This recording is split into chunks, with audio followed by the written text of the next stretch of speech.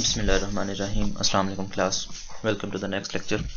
आज के लेक्चर के जो हमारे ऑब्जेक्टिव हैं मेन टॉपिक हम दो डिस्कस करेंगे प्रोसेसिंग डाटा और जो फैक्टर्स अफेक्ट कर रहे होते हैं हमारे प्रोसेसिंग स्पीड पर। हमारे कंप्यूटर की जो प्रोसेसिंग पावर होती है, जो प्रोसेसिंग स्पीड होती है, उसमें कौन कौन से फैक्टर कौन कौन से कंपोनेंट हमारे पास इन्वॉल्व होते हैं, हम उसको डिस्कस करेंगे। हम देखेंगे हाउ कंप्यूटर प्रोसेस डाटा कौन सा तरीका है, किस तरीके से किस वे से जो है हमारा डाटा वो प्रोसेस हो रहा होता है, किस किस तरीके से, किस किस वे से, कौन से मराहल से गुजर रहा होता है। ठीक है वो हम बेसिक चीज़ें देखेंगे, उसके बाद machine cycle what are the machine cycle machine के साइकिल क्या होते हैं? मेमोरी है non volatile memory flash memory और वोलेटाइल मेमोरी इनको डिस्कस करेंगे। और जो हमारे पास कंपोनेंट्स हमारे पास प्रोसेसिंग स्पीड पर इफ़ेक्ट कर रहे होते हैं जिनकी वजह से हमारी स्पीड का टोटल इन्सार होता है जिन पर उनको हम डिस्कस करेंगे जिसमें हमारे पास रजिस्टर आ जाता है memory and computing power clock bus और कैशे मेमोरी आ जाती है। ठीक है तो सबसे पहले हाउ कंप्यूटर प्रोसेस डाटा हम देखते हैं। Two components handle the computer processing of the data main हमारे पास दो कंपोनेंट हैं जो हमारे पास डाटा uh, की प्रोसेसिंग को जो है कंट्रोल कर रहे होते हैं एक सीपीयू एक मेमोरी है। बेसिक या मेन हमारे पास यही दो चीज़ें हैं। सीपीयू क्या है आ, पहले भी बताया हुआ थोड़ा सेंट्रो आपको मैं अभी बस उसके बारे में बता देता हूँ। सेंट्रल प्रोसेसिंग यूनिट है ब्रेन ऑफ़ द कंप्यूटर ये हम पढ़ चुके हैं। Also known as microprocessor इसको हम माइक्रो प्रोसेसर भी कहते हैं। आ, हर सीपीयू जो सा है वो दो पार्ट्स पर मुश्तमिल होता है उसके दो हिस्से होते हैं। एक होता है कंट्रोल यूनिट और एक होता है arithmetic logic unit control unit में क्या होता है हमारे पास? Control unit handle all the computer resource जितने भी कंप्यूटर के रिसोर्स होंगे, तमाम को वो मैनेज कर रहा होगा, देख रहा होगा। आया के तमाम डिवाइसेस जो सी वो अटैच हैं, उसके साथ कौन कौन सी डिवाइसेस अटैच हैं रिसोर्स वो कौन कौन से हैं? आया के वो हमारे पास प्रिंटर है स्कैनर है या कोई और डिवाइसेस जितने भी अटैच हैं उन, उन तमाम रिसोर्सेज को देख रहा होगा जो उसको गिवन है जिनको वो यूटिलाइज कर सकता है। Handle what instruction the CPU can perform वो हैंडल करता है कौन कौन सी इंस्ट्रक्शंस को द इंस्ट्रक्शन सेट उसको इंस्ट्रक्शन सेट भी कहते हैं। ठीक है? Most instruction involve simply moving data from one place to another mostly जो से इंस्ट्रक्शंस उसमें होती हैं वो कौन सी होती हैं कंट्रोल यूनिट में, वो ज़्यादातर एक प्लेस से दूसरी प्लेस पर जो हम डाटा मूवमेंट कर रहे होते हैं, ज़्यादातर ये इंस्ट्रक्शंस होती हैं। ठीक है मींस हमारे पास अगर कोई डाटा आया मेमोरी में हमारे पास कोई डाटा लोड हुआ है, वहाँ से हमने उसको कंट्रोल सीपीयू में लाना है तो वो ऑफ़ हम एड्रेसिंग से डील कर रहे होंगे उसका एड्रेस क्या है, जो डाटा है हमारे पास उस एड्रेस को हम यहाँ पर भेज रहे होंगे। तो सीपीयू मींस अगर कोई म्यूज़िक की हमारे पास फ़ाइल है तो वो म्यूज़िक कंट्रोलर को भेज रहा होगा अगर हमारे पास कीबोर्ड की कोई इस तरह के रेलिवेंट या हमारे पास स्क्रीन की कोई जिस तरह मोनीटर है, उसकी कोई आउटपुट प्रिंट करवानी है मोनीटर पर तो सीपीयू ऑफ़ कोर्स वो जो डाटा होगा वो मोनीटर के पास भेज रहा होगा मोनीटर के कंट्रोलर के पास भेज रहा होगा। या हमारे पास इस तरह प्रिंटर है तो प्रिंटर के कंट्रोलर के पास इंस्ट्रक्शंस को भेज रहा होगा। तो इस तरह ज़्यादातर जो हमारे पास इंस्ट्रक्शंस होती हैं, वो मूवमेंट की होती हैं इधर। When the control unit uh, encounters any instruction that involves arithmetic operation. अगर कंट्रोल यूनिट के पास कोई इस तरह की इंस्ट्रक्शन आ जाती है जिसमें अरिथमेटिक ऑपरेशन करनी होती है जो कि मैंने पिछली स्लाइड में आपको बताया पिछले लेक्चर में हम डिस्कस कर चुके हैं कि अरिथमेटिक ऑपरेशन कौन कौन से हमारे पास होते हैं एडिशन सब्ट्रैक्शन मल्टीप्लिकेशन डिवीज़न ठीक है? तो इस तरह के जितने भी अरिथमेटिक ऑपरेशन होते हैं अगर वो कोई परफॉर्म करने होते हैं तो it passes instruction to a तो जो कंट्रोल यूनिट है, इन इंस्ट्रक्शन को ए में भेज देता है अरिथमेटिक लॉजिक यूनिट जो कि सीपीयू का हमारा दूसरा पार्ट है, दूसरा हिस्सा इस हिस्से में क्या होता है perform arithmetic and the logic operation on data ये तमाम अरेथमेटिक एंड लॉजिकल ऑपरेशन भी परफॉर्म कर रहा होता है डाटा के ऊपर as all the computer data is stored as numbers चूँकि हम जानते हैं, तमाम डाटा जो है वो नंबर्स की सूरत में ही सेव होता है। So all the processing of the computers data is performed on numbers ठीक है तो तमाम प्रोसेसिंग जो सी है वो डाटे पर, वो नंबर्स की सूरत में ही परफॉर्म की जा रही है। तो जिस तरह हम मैंने बताया जब हमने अरिथमेटिक कैलकुलेशन जो हमने परफॉर्म की प्रीवियस लेक्चर में, उधर मैंने आपको बताया कि हर डाटा कोई भी डाटा हो, उसको हम बाइनरी में कन्वर्ट करते हैं और बाइनरी डाटे के फिर हम कैलकुलेशंस कर रहे होते हैं। एडिशन सब्ट्रैक्शन मल्टीप्लिकेशन डिवीज़न या इस तरह से जो भी कैलकुलेशन होती हैं, हम वो परफॉर्म कर रहे होते हैं। तो अरेथमेटिक लॉजिक यूनिट दरअसल वो जो सी कैलकुलेशन है, उसको परफॉर्म कर रहा होता है। उसके बाद है हाउ कंप्यूटर प्रोसेस डेटा हमारे पास नंबर दो पे आ जाता है machine cycle what are the machine cycle steps by the CPU to process data ये क्या होते हैं ये स्टेप्स होते हैं कुछ सीपीयू के जो प्रोसेस डाटा करते हैं डाटा को प्रोसेस करने में काम आ रहे होते हैं। मीन हम मैं आगे डिस्कस करता हूँ आपसे। C P U handles billion of machine cycle per second C P U जो है वो बिलियन ऑफ़ मशीन साइकिल एक सेकंड में सॉल्व कर रहा होता है रिजॉल्व कर रहा होता है जिसकी वजह से आ, हमारे पास जितनी भी इंस्ट्रक्शंस हैं जो कैलकुलेशंस हैं वो हमें मालूम ही नहीं हो रहा होता कि वो कितनी जल्दी परफॉर्म हो रही होती हैं कितनी जल्दी कैलकुलेट हो रही होती हैं और हमें रिज़ल्ट मिल रहा होता है। ठीक है विद इन सेकेंड हम जस्ट क्लिक करते हैं और हमारा रिज़ल्ट हमारे सामने स्क्रीन पर होता है। ठीक है तो वो बिलियन ऑफ़ इंस्ट्रक्शन जो मशीन साइकिल हैं मीन्स जो हमारे पास कैलकुलेशन हैं या कोई परफॉर्म एक्शन है, जो काम कंप्लीट कर रहा होता है, वो विद इन सेकेंड कर रहा होता है। C P U perform performance is usually measured in MIPS and BIPS ठीक है MIPS means million of instruction per second and BIPS है billion of instruction per second ये दो आर्किटेक्चर हैं डिफरेंट सीपीयू के हमारे पास डिफरेंट आर्किटेक्चर्स आ जाते हैं। कुछ जो हैं वो मिप्स को फॉलो कर रहे थे कुछ बिप्स को फॉलो कर रहे होते हैं। Means million of instruction per second पर काम कर रहे होते हैं, कुछ जो होते हैं बिलियन ऑफ़ इंस्ट्रक्शन ऑफकोर्स जो बिप्स पर काम कर रहे होते हैं सी उनकी परफॉर्मेंस ज़्यादा होती है, क्योंकि वो ज़्यादा इंस्ट्रक्शन एक सेकेंड में, ज़्यादा इंस्ट्रक्शन को वो एग्जीक्यूट कर रहे होते हैं। Pipelining process, more data, pipeline भी एक टेक्निक है डाटे को एग्जीक्यूट करने की जो हमारे पास इंस्ट्रक्शंस हैं, उनको फैच करने एग्जीक्यूट करने की डिकोड करना, ये तमाम जो काम है, पाइपलाइन एक टेक्निक है जो कि हमारे पास डाटा को प्रोसेस कर रही होती है, जल्दी हेल्प आउट कर रही होती है। मल्टीटास्किंग अलाउज मल्टीपल इंस्ट्रक्शन जो मल्टीटास्किंग है वो, उसकी वजह से हम मल्टीपल इंस्ट्रक्शन को एट अ टाइम एग्जीक्यूट कर सकते हैं। अच्छा अब ये जो मैंने बताया steps by CPU to process data वो यहाँ पर इन दो स्टेप्स में हमारे पास ये तमाम के तमाम सीपीयू के स्टेप्स प्रोसेसिंग के जो डाटा प्रोसेस कर रहे हैं, इसमें आ जाते हैं। मैंने इसको अलग अलग डिवाइड कर दिया ताकि आपको समझ आ जाए। Machine cycle is divided into two parts instruction cycle और एग्जीक्यूशन साइकिल इंस्ट्रक्शन साइकिल में क्या है? इसमें हमारे पास दो मेन पार्ट हैं, एक है फैचिंग और एक है डिकोडिंग ठीक है सबसे पहले हमारे पास आ जाता है fetching the instruction must be fetched from the memory into the control unit हम सबको पता है मैंने आपको पहले भी बताया कि कोई भी इंस्ट्रक्शन है वो सबसे पहले कोई भी डाटा है जो हम एग्जीक्यूट करना चाह रहे हैं कोई भी आ, कोई भी काम हम परफॉर्म करना चाह रहे हैं एक्शन चाह रहे हैं तो वो हम सबसे पहले जब लोड करेंगे जब उसको एग्जीक्यूट करेंगे तो हमारे पास मेमोरी में लोड होगा। ठीक है तो जो डाटा है इंस्ट्रक्शन हमारे पास मशीन साइकिल के लिए जो डाटा है उसको सबसे पहले मेमोरी से कंट्रोल यूनिट में लाना पड़ता है। ठीक है कंट्रोल यूनिट हमारे पास क्या कर रहा था? कंट्रोल यूनिट और उस इंस्ट्रक्शन को छोटे छोटे स्टेप्स में या छोटे छोटे उसको पार्ट्स में डिवाइड कर रहा होता है और उन पार्ट्स को डिवाइड करने के बाद वो डिसाइड कर रहा था कि इसको करना क्या है। अगर एग्जीक्यूट करना है तो फिर वो उसको भेज देता है हमारे पास। हमने पढ़ा था हमारे पास सीपीयू के दो यूनिट हैं। अगर उसमें कोई अरेथमेटिक ऑपरेशन परफॉर्म करना तो वो ए को भेज देता है अदरवाइज़ वो उसको एग्जीक्यूट कर देता है। ठीक है memory into the control unit decoding है उसके बाद सी यू कंट्रोल यूनिट ठीक है control unit breaks decode the instruction in in two parts जो कि हमारे पास कंट्रोल यूनिट है, वो क्या कर रहा होता है, फिर इसको इन इंस्ट्रक्शन को पार्ट्स में डिवाइड कर रहा होता है छोटे छोटे पार्ट्स में डिवाइड कर देता है, फिर हर पार्ट्स को वो देख रहा होता है कि किस तरह से इसको एग्जीक्यूट करना है।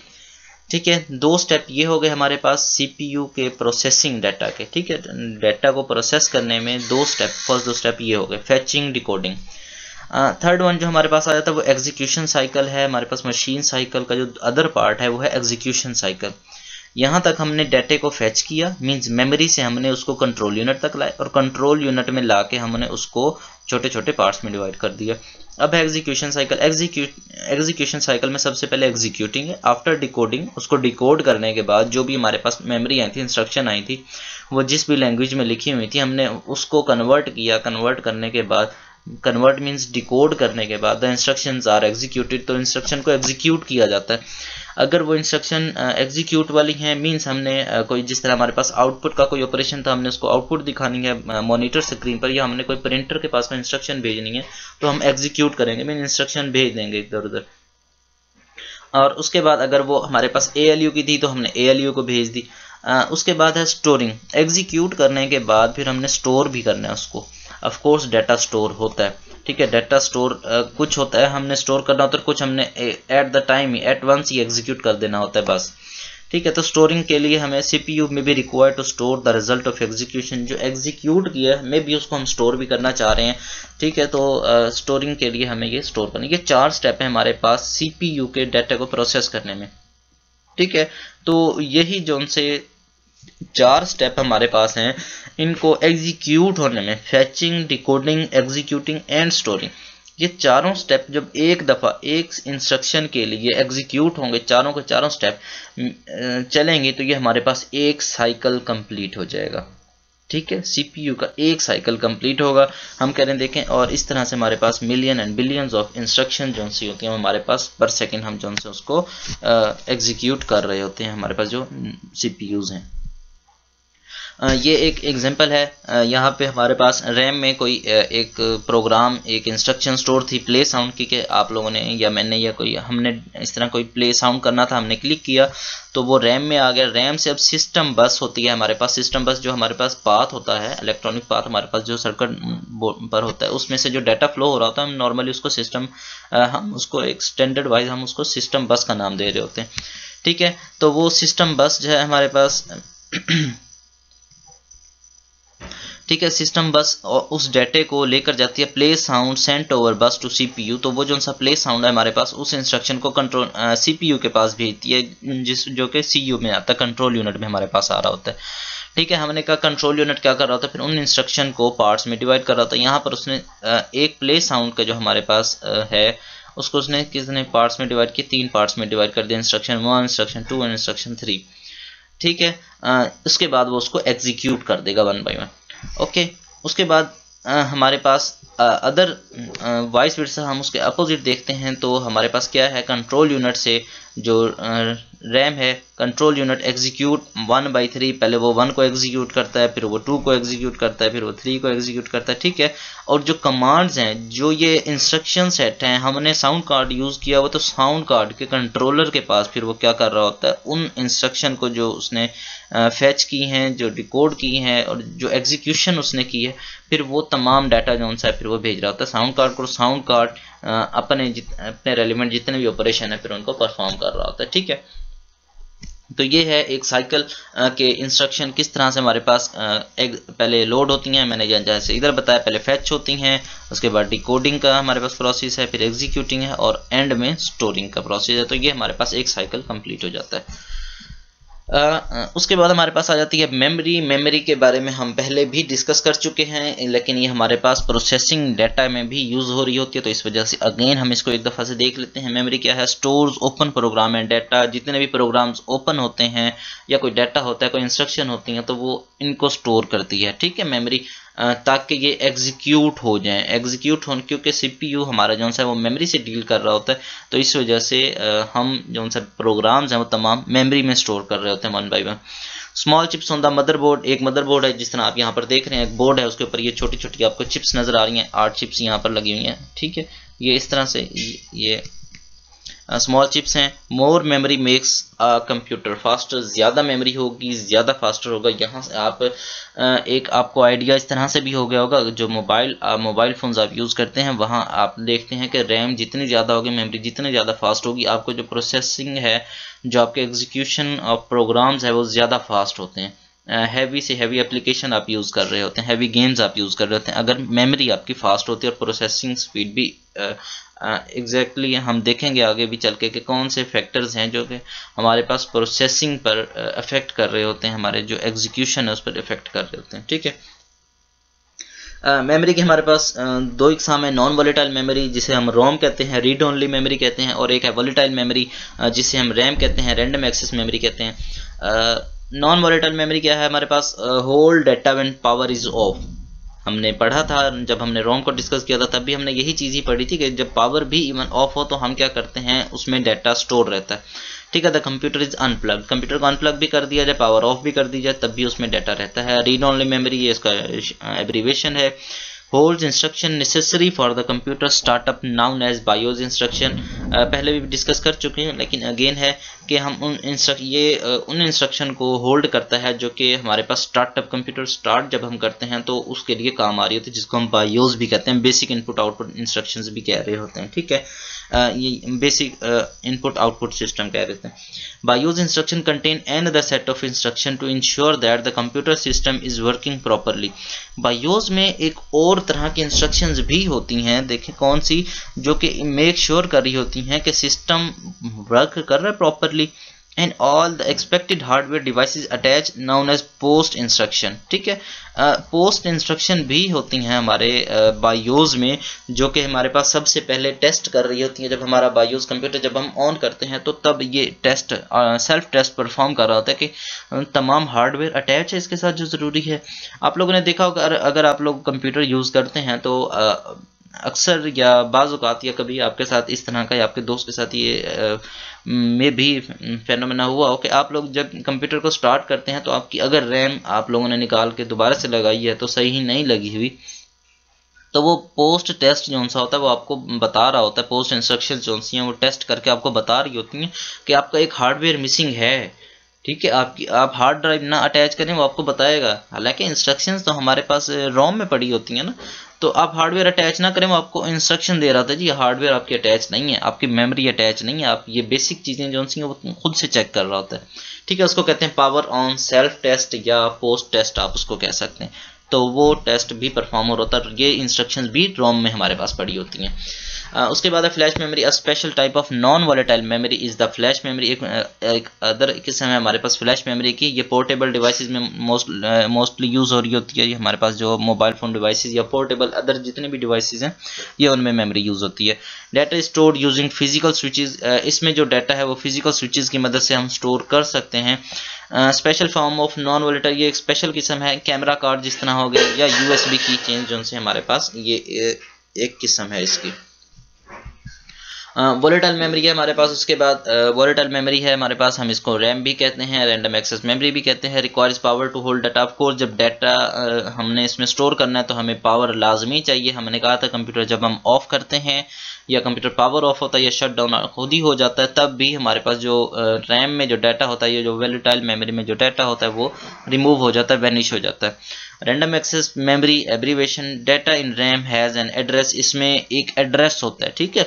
जो भी इंस्ट्रक्शन हम फैच एग्जीक्यूट करना चाह रहे होते हैं मींस हम एग्जीक्यूट करवाना चाह रहे होते हैं जो भी इंस्ट्रक्शन उसका हम, हमारे पास एड्रेस रैम में स्टोर हो रहा होता है। ठीक है? एक्चुअल डाटे का एड्रेस स्टोर हो रहा होता है मीन्स आपके पास हार्ड ड्राइव में कोई भी मूवी पड़ी हुई है, आप लोगों ने उसको एग्जीक्यूट किया तो उसका जो सा एड्रेस है वो हमारे पास जा रहा होता है मेमोरी के अंदर। ठीक है?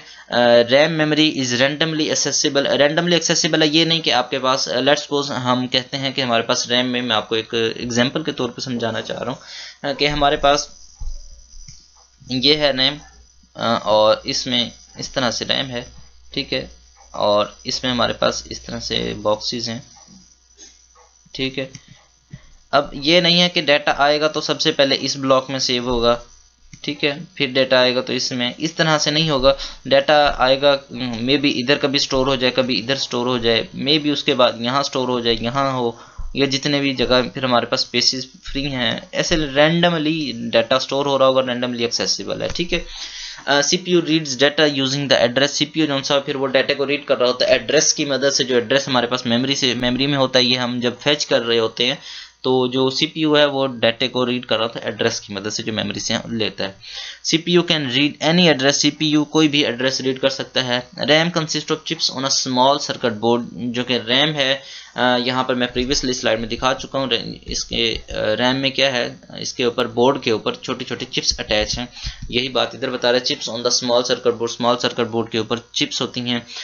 SIMM S I double M and D I double M chips are found in the desktop computer जो डेस्कटॉप कंप्यूटर हैं, उसमें हमारे पास ये दो तरह की जो हम, हमें देखने को मिलती हैं चिप्स मिलती हैं। एस आई डबल एम जिसको कहते हैं स्मॉल हमें कह रहे होते हैं इसको हम single in line memory module कह रहे होते हैं हम। S I double M single in line memory module जबकि हमारे पास डी आई डबल एम है, वो dual in line memory module है। हमारे पास जो डेस्कटॉप कंप्यूटर है नॉर्मली उसमें ये हमारे पास चिप्स होती हैं, जबकि जो हमारे पास लैपटॉप्स होते हैं, उनमें S O D I double M chips होती हैं, जिन्हें स्मॉल आउटलाइन डिम या small outline dual in line memory module कहा जाता है। ठीक है, ये लैपटॉप्स में हमारे पास मेमोरी अटैच होती हैं। अब आगे हमारे पास कंपोनेंट अफेक्टिंग स्पीड हमारे पास स्पीड पे जो कंपोनेंट अफेक्ट कर रहे हैं वो कौन कौन से होते हैं?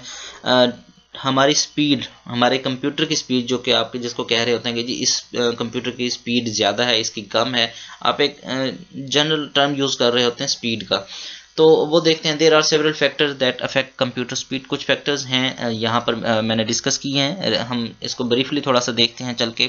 रजिस्टर है जिस तरह हमारे पास रैम है इंटरनल क्लॉक है बस है और कैशे मेमोरी है। ठीक है? यहाँ से आप लोगों को थोड़ा सा अंदाज़ा भी हो रहा होगा। एक डायग्राम मैंने यहाँ पर दिया, एक कंप्यूटर का इंटरनल जो बोर्ड है, उसके थोड़ा सा मैंने यहाँ पर बताया गया है, जिसको मदरबोर्ड आप कहते हैं। ठीक है, वो बोर्ड है, उसके ऊपर आपके पास रैम अटैच है, आपके पास सीपीयू अटैच है रोम लगी हुई है क्लॉक है और रैम आपके साथ और कैशे आपके पास अटैच है यहाँ पर, ठीक है? और ये जो सा हमारे पास सर्किट है, जिस, जिसकी मदद से ये जो कंपोनेंट्स आपस में डील कर रहे होते हैं, आप एक दूसरे के साथ इंस्ट्रक्शन जो सी हैं ले रहे होते हैं या इंस्ट्रक्शन दे रहे होते हैं या जो भी आपस में उनकी कम्युनिकेशन हो रही होती है, जिस जिस बात के थ्रू हो रही होती है जो डाटा एक जगह से दूसरी जगह मूव हो रहा होता है, उसको हम डाटा बस कह रहे होते हैं कि डाटा बस के थ्रू डाटा मूव कर रहा है, ठीक है? सबसे पहले हम रजिस्टर डिस्कस करते हैं what are the register register the smallest computer memory in the register ये स्मॉलेस्ट सबसे छोटी जो सी मेमोरी है, होती है रजिस्टर जितने भी कंप्यूटर्स हैं बनस्बत तमाम मेमोरीज जो उसमें अटैच होती हैं रजिस्टर मेमोरी सबसे छोटी मेमोरी होती है।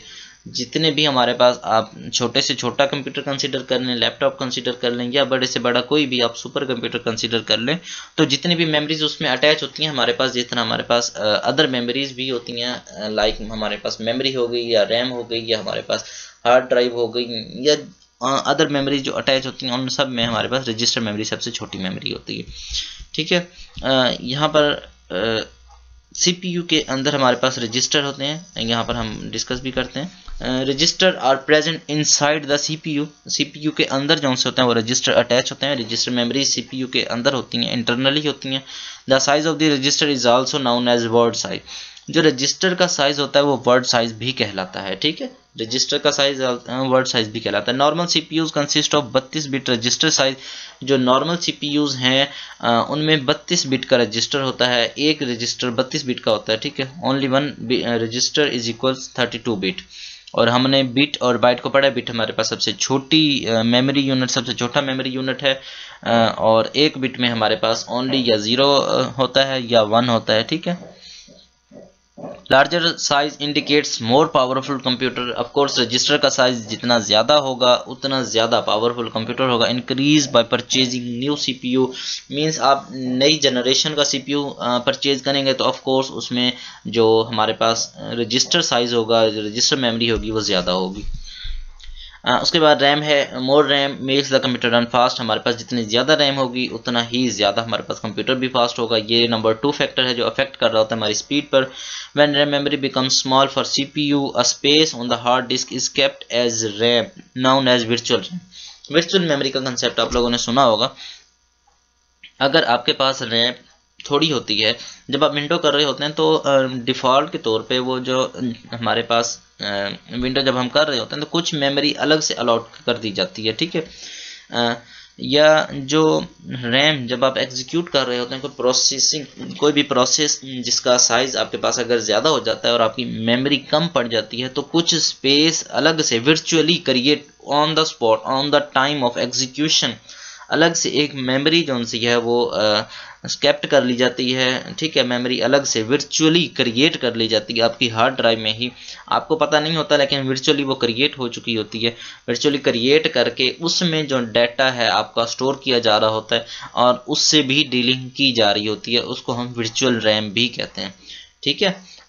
उसके बाद है C P U then swaps data to virtual RAM फिर जो सा सी पी यू है, वो डाटा वर्चुअल रैम से भी स्वैप कर रहा होता है. मीन जो भी उसकी कम्युनिकेशन होती है, जो एग्जीक्यूशन होती है, वो तमाम फिर वर्चुअल रैम से भी कर रहा होता है. मीन्स आपकी हार्ड ड्राइव से भी कम्युनिकेट कर रहा होता है. अदरवाइज़ जो हमारा सी पी है ओनली ऑन हमने जिस तरह पहले पढ़ा है, कि सिर्फ़ रैम से ही डिस्कस कर रहा होता है. कोई भी कम्युनिकेशन होती है, वो सिर्फ़ रैम से डील कर रहा होता है. डाटा उसने सिर्फ़ रैम से लेना होता है. लेकिन अब हम कह रहे हैं कि वो सी जो है, वो वर्चुअल रैम से भी डाटे को स्वैप कर रहा होता है। मीन्स हार्ड ड्राइव से भी इनडायरेक्टली डाटे को एक्सेस कर रहा होता है। Least recently use data is move जो कि सबसे पहले लीस्ट रिसेंटली मोस्ट रिसेंट मतलब सबसे लास्ट में जो डाटा हमने यूज़ किया, उसको वो डाटे को मूव कर रहा होता है।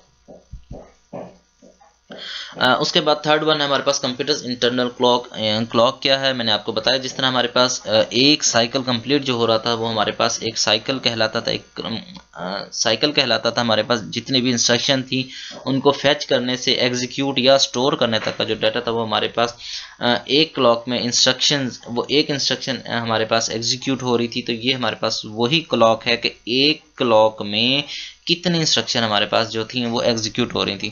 There exist an internal clock in the computer made up of quartz crystal ठीक है कॉर्ड्स क्रिस्टल से मिलकर बनती है।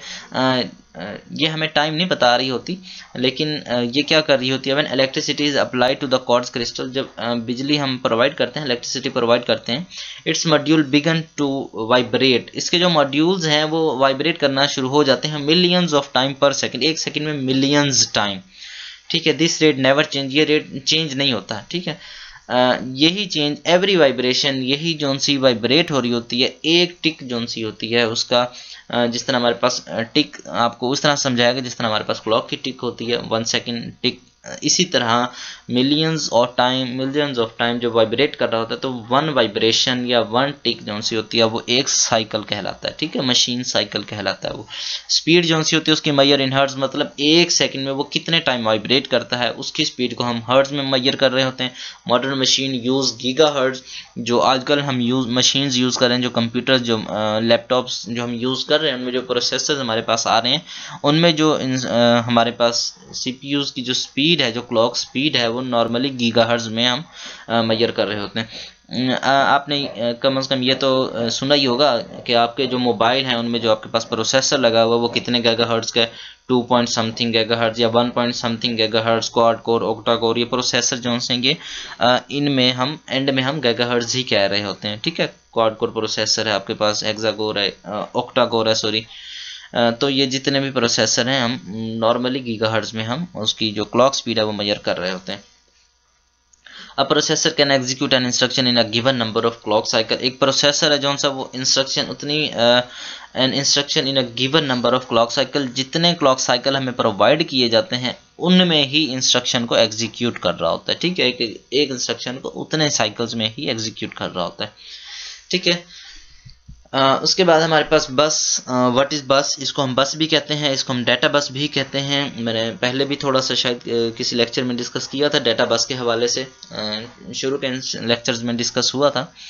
इलेक्ट्रॉनिक पाथ वे है बिटवीन कंपोनेंट्स दो कंपोनेंट्स के दरमियान ये इलेक्ट्रॉनिक पाथ है हमारे पास जो कम्युनिकेशन होती है हमारे पास दो कंपोनेंट्स की आपस में एक दूसरे के साथ जो डीलिंग कर रहे होते हैं जो डाटा की जो वो हमारे पास जो पाथ होता है, उसको हम बस कहते हैं like pathway between RAM and CPU जिस तरह हमारे पास सीपीयू जो डील कर रहा होता है रैम के साथ जो भी कम्युनिकेशन कर रहा होता है, वो जो पाथ होता है, उसको हम बस कहते हैं। There are two types of buses दो तरह की बसेस होती हैं हमारे पास इंटरनल और सिस्टम बस एक है हमारे पास इंटरनल बस या सिस्टम बस और दूसरी है हमारे पास एक्सटर्नल या एक्सपेंशन बस ठीक है? दो तरह की बसेज हैं एक्सटर्नल बस जो सी है, वो connects to peripheral devices like mouse keyboard printer जो एक्सटर्नल बस है, वो इन चीज़ों से एक्सटर्नल जो चीज़ अटैच है हमारे पास, उनसे डिस्कस कर रहा होता है, उनसे कम्युनिकेट कर रहा होता है, या उन तक डाटा ले जा रहा होता है, या उनसे डाटा लेके आ रहा होता है। तो इन, इनकी आपस में कम्युनिकेशन का बायस बन रहा होता है। जबकि सिस्टम बस है, वो क्या करता है connect CPU and RAM CPU और रैम के जो हमारे पास आपस में, उनकी जो कम्युनिकेशन हो रही होती है, उसको जो हैंडल कर रहा होता है, उनका जो डाटा ले जा रहा होता है या लेके आ रहा होता है, एक दूसरे के साथ शेयर कर रहा होता है, वो सिस्टम बस कहलाती है। Bus with is major in bits जो बस की जो विथ होगी, वो बिट बिट्स में मैयर की जाएगी। Speed is tied to the clock जो उसकी स्पीड होगी, बस की जो स्पीड होगी, वो क्लॉक के साथ बंधी हुई होगी। मीन्स मकसद ये कि जितने क्लॉक हमारे पास होंगे एक इंस्ट्रक्शन को एग्जीक्यूट करने में, उतनी ही स्पीड हमारे पास बस की होगी। उस सिस्टम बस है हमारे पास। There are two types of system buses system bus की अगेन हमारे पास दो एग्ज़ाम है। जिस तरह हमारे पास बसेस की दो एग्ज़ाम थी, एक इंटरनल बस थी, एक एक्सटर्नल बस थी। या इंटरनल में हमारे पास इंटरनल को हम सिस्टम बस भी कह रहे थे। तो वो जो सिस्टम बस है, उसकी अगेन से दो टाइप है। एक है डाटा बस और एक है एड्रेस बस डाटा बस हमने कहा था सिस्टम बस जो सी हमारे पास, वो कहाँ पर यूज़ हो रही होती है? सीपीयू और रैम के दरमियान।